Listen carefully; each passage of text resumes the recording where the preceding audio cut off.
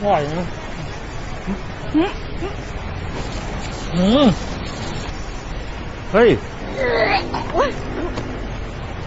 น้อง นี่มันถุงพลาสติกไม่ใช่เหรอ ใช่ค่ะ แล้วมันอยู่ในนี้ได้ไงอะ คือมันเป็นส่วนผสมในอาหารนะคะเป็นส่วนผสมของอาหาร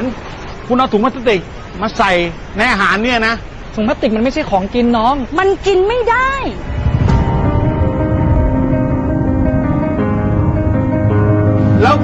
มันติดคอจะทำยังไง หนูหนูคิดว่ามันไม่น่าจะอันตรายนะคะพี่ คุณลองดูไหมไม่อันตรายอะเราไม่เป็นคนกินนี่คุณเล่นนี้มันถึงตายเลยนะถุงพลาสติกอะ มันย่อยสลายเองไม่ได้นะคะน้อง นี่ถึงขั้นฟ้องร้องได้เลยนะ คืออันนี้หนูก็ไม่ทราบอะค่ะ คือทางบริษัทแจ้งมาแบบนี้อะค่ะ คุณตอบแบบนี้ไม่ได้ มีความรับผิดชอบมากนะคะ สามัญสำนึกอะมีบ้าง